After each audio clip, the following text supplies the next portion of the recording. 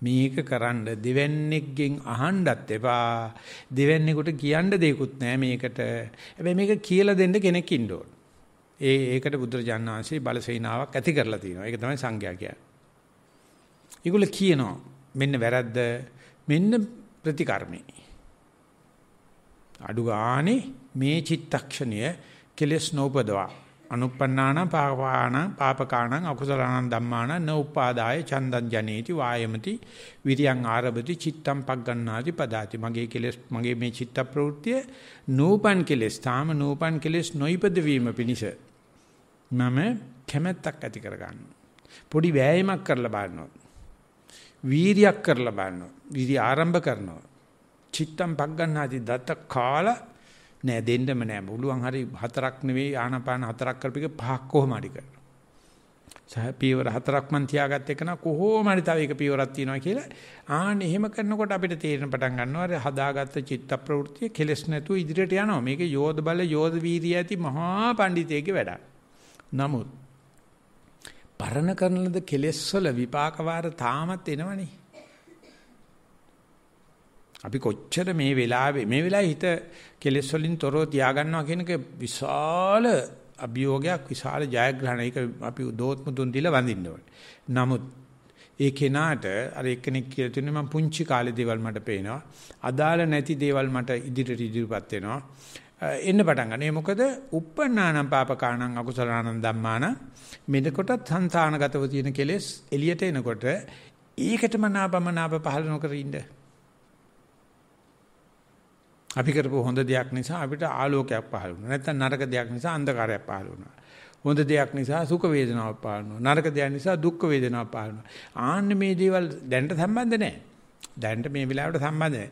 මෙන්න මේක දිහා බලලා ඒකට මනාපමනාප පහළ කරගත්තොත් අලුත් කෙලෙස් උපදිනවනේ.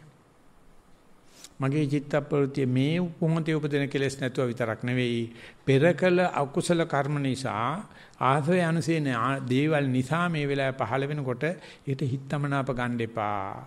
ඒ ඒ කර්ම ගෙවෙන හැටි ආන්න ඒකෙදි ඒකේනා කීනං පුරාණං නවං නත්ති සම්භවං විරත්ත චිත්තා ආයතිකේ බවස්මි කියලා ගියර්දේ ගියා.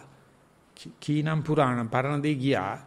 නවං නත්ති සම්භවං අලුතින් ඇති කරන්නේ කියලා අර වෙච්චි දේෙන් ඇතිවෙන විරසකකම් දරත පරිලහ එනකොට මේක ඉතින් මට කරන්න දෙයක් නැහැ මෙහෙම තමයි හැටි.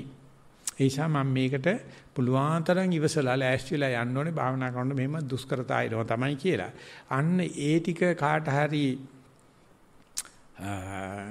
අද මාත්‍රිකාව තියෙන්නේ අද මාත්‍රිකාව ඒ ටිකට ජය අරගෙන මේක කමඨහන් වාර්තාවට දැම්මේ නැත්තම් අසත්පුරුසයි. මේක කමඨහන් වාර්තාවට දැම්මේ නැත්තම් බාලයි.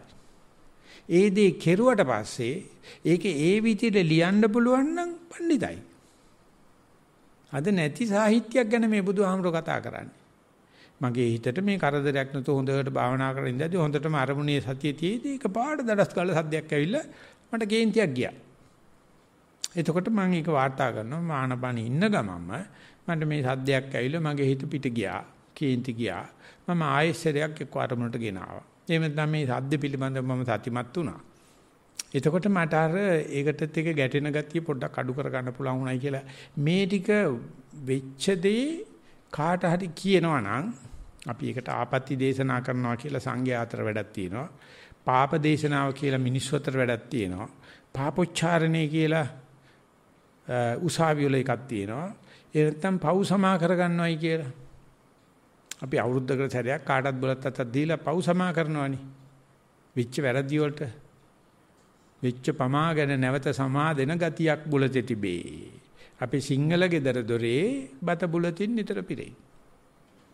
මෙන්න මේ විදිහට කරලා අර වැරදකුණා වැරදට මේකයි කළ යුත්තේ. මේ දෙකම තාර්ථකයි. යා දන්නවා.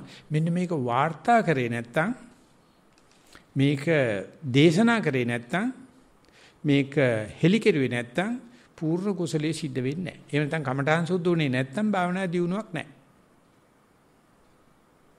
ඒකයි මේ සාකච්ඡා අනුග්‍රහිතය කියලා වටිනා දෙයක් අපිට බුදුහාමුදුරෝ දේශනා කරලා තියෙන්නේ.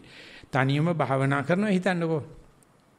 ඒක අපි කාට හරි කියලා ඒකට සිංහල වෙදකමේ තියෙන්නේ බෙහෙත් පියවට පස්සේ ගුණාගුණ කිව්වේ නැත්තම් වෙදාට බෑනේ බෙහෙත් පන්තියක් ලියාගන්න ඊට පස්සේ. එයා බෙහෙත් බීලා ගිහලා කියන්න ඕනේ ගුණාගුණ මේකයි වේද මහත්තයෝ මට වෙන්දට වැඩි බඩේ ලියන්න පටන් ගත්තා. නැත්නම් ලෙඩේ වැඩි වුණා. නැත්නම් ලෙඩේ අඩු වුණා කියලා කීවට පස්සේ තමයි වේදා අර දීපු මේ බෙහෙත් ටික වැඩ කරන හැටි ගහලිදගත වෙන හැටි දන්නේ. ආපෝ ඒ වේදා ගාවට යන්නත් නරකයි වේ විදුවට පස්සේ ලෙඩ වැඩි උනායි කියලා අපි වෙන වෙදෙක් ගාවට ගියත් ඌත් දෙන්නේ තවත් බෙහෙත් වැඩි වෙන එකක් තමයි. ලෙඩ වැඩි වෙන එකක් තමයි. මොකද ඒකෙන් තමයි අල්ලන්නේ අර බෙහෙත වැඩ කරාද නැද්ද කියලා. ඒක නිසා මේ භාවනා කරනකොට ඒ ඇති වෙන හරි වැරදි ටික අපි කමඨාන් සුද්ධ කරපස්සේ ඒක Taman උත්සාහ කරනවා. උත්සාහ කරලා මට ඇත්තටම භාවනා කරද්දී හිත පිට ගියා. මට එච්චර වගේම ඊයේ වගේම කේන්ති ගියේ නැහැ. නැත්නම් කේන්ති ගියා. හැබැයි මට hina ගියා. මට බලන්න කොච්චර කේදිත් මට මේක තියෙද්දි hina ගියානේ. කේන්ති ගියානේ කියලා hina ගියා. මට ඒ කරදරේ තියෙද්දිමත් මේ ආනාපානේ සංසිඳීමක් වුණා. කරදරේ සංසිඳීමක් වුණා. එහෙම නැත්නම් ආනාපානේ ඇවිස්සුණා.